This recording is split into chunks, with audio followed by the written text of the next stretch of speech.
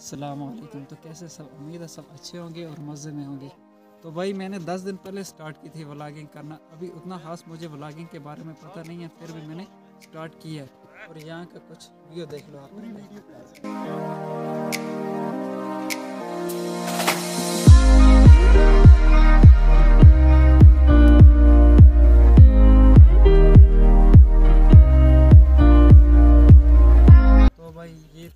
एक short intro video मिलते हैं आपसे अगली वीडियो में। अगली वीडियो फुल रहने वाली है।